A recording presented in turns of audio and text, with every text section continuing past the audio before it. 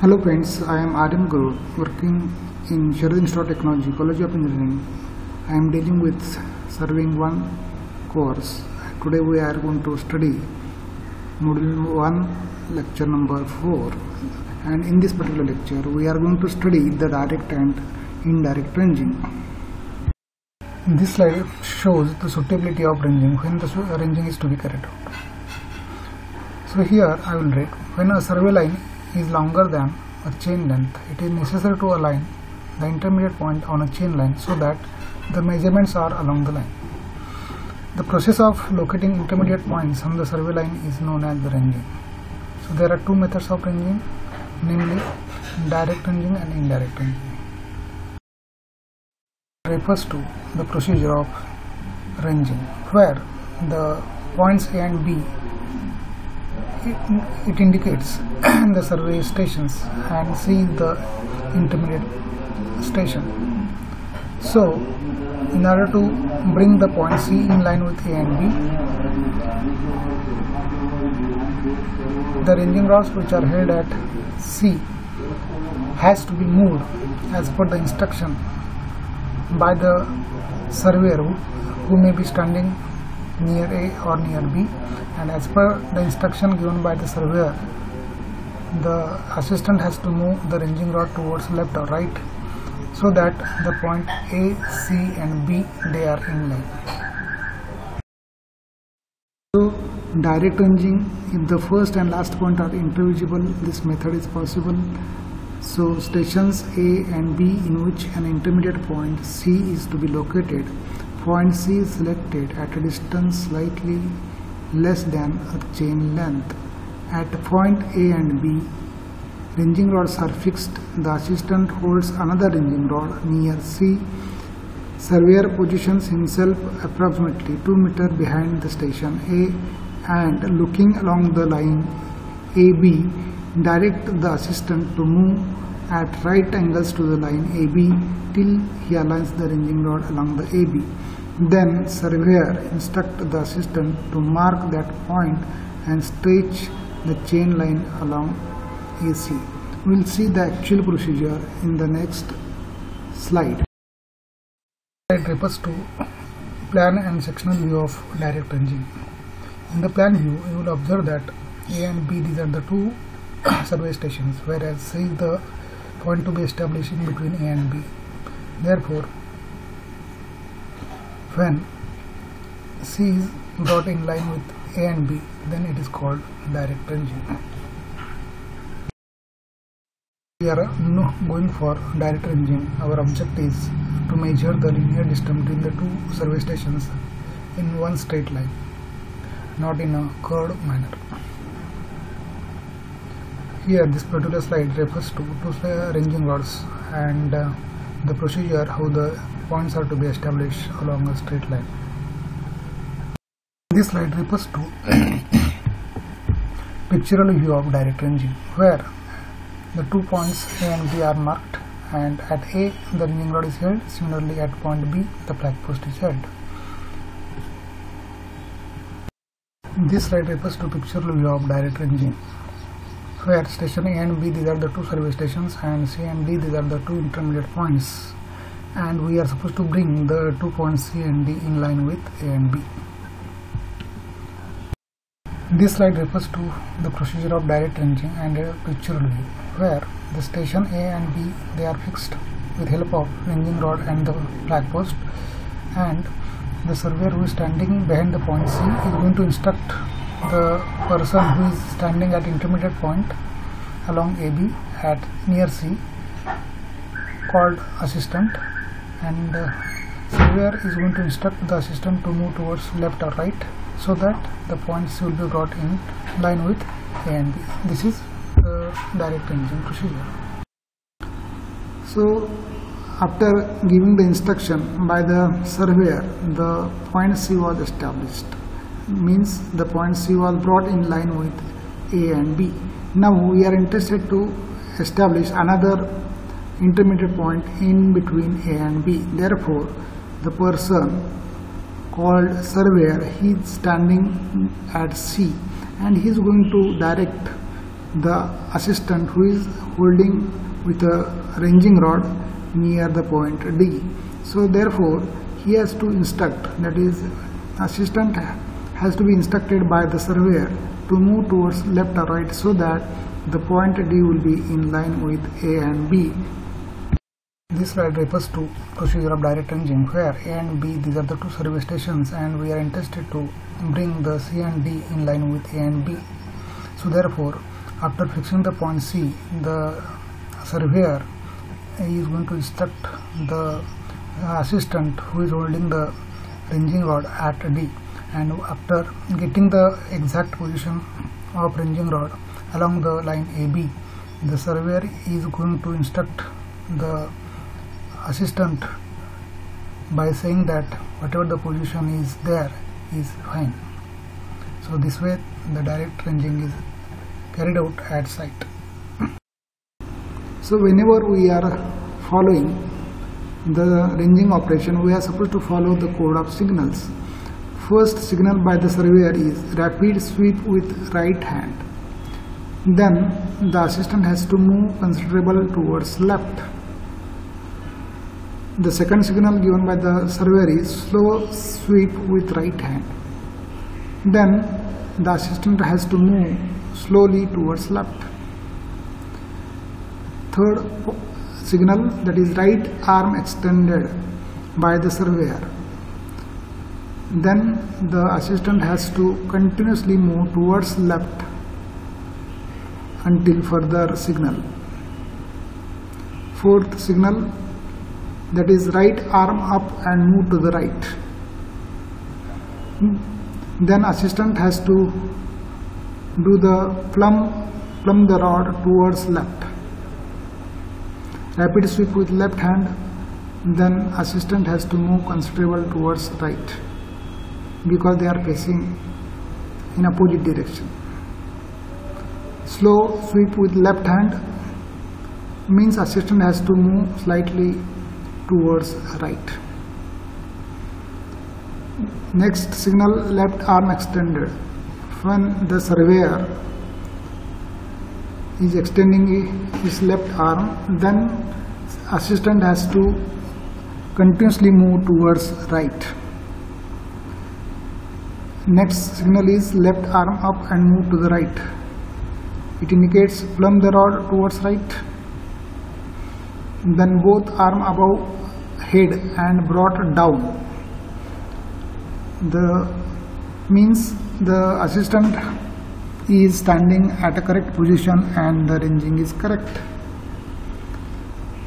Next signal is both arm extended horizontally and brought down quickly. Means the assistant has to fix the position of arranging rod. So this is a way how to go for arranging operation this slide refers to pictorial view of direct ranging, at station A and B these are the two service stations. So indirect or reciprocal ranging is to be carried out due to intervening ground. And because of intervening ground, if the ranging rod at B is not visible from station A, then reciprocal ranging may be resorted. So here it needs two assistant, one at point M and another at point N where from those points both station A and B are visible. It needs one surveyor at A and another at B.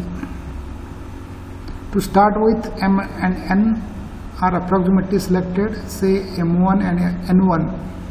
Then surveyor near end A ranges person near M to position M2 such that A, M2, N1 are in line.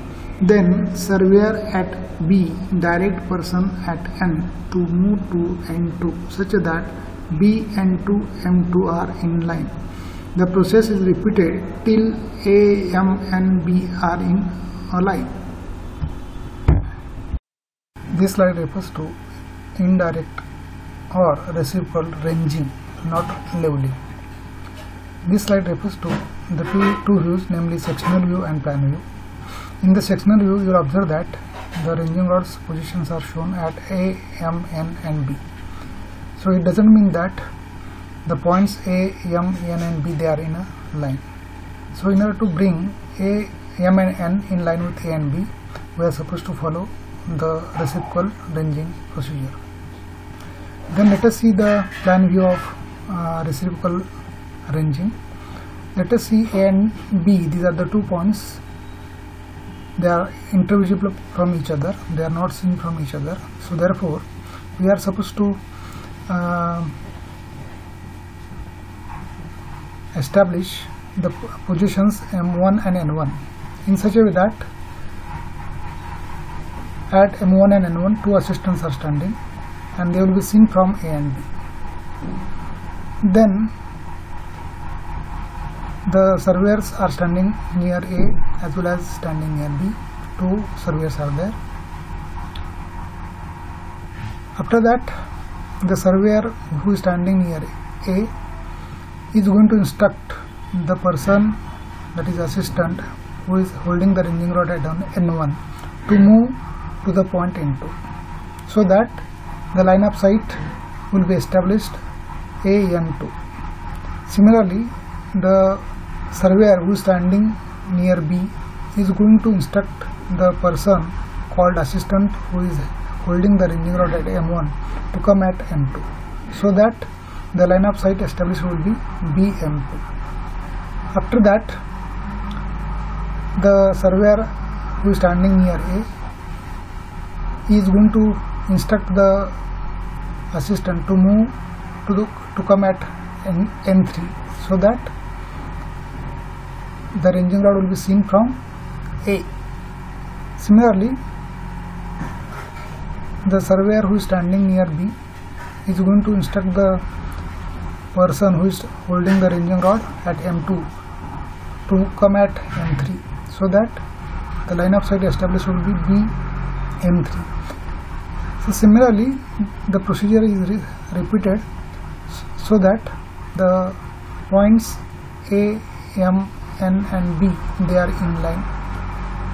This is called indirect ranging. This slide refers to procedure of direct ranging where A and B these are the two survey stations and we are interested to bring the C and D in line with A and B. So therefore after fixing the point C the surveyor is going to instruct the assistant who is holding the ranging rod at D and after getting the exact position of ranging rod along the line A. Since the ranging rod at B is not shown the surveyor is going to direct the assistant to hold the ranging rod near the point C1. Similarly, the surveyor at B is going to instruct the assistant who is holding the ranging rod at D1 so that the line of sight will be established with the surveyor to bring the uh, points A, C1, D1 in one line. This slide refers to how to fix the intermediate point between C and B. So therefore, in the plan you will see D1 and D2 these are the two positions where the ranging are held and in order to bring the point D in line with C and B the assistant has to move his ranging rod as per the instruction given by the surveyor from B. This slide refers to pictorial view of indirect or reciprocal ranging, wherein the points A, C and D are brought in line with A and B. Also in the plan, the point A, C, D and B they are shown in one straight line. Hello friends, I am Aryan Garud working in Sharad Institute Technology, College of Engineering. I am dealing with surveying one course. Today we are going to study module 1 lecture number 4 and in this particular lecture we are going to study the direct and indirect ranging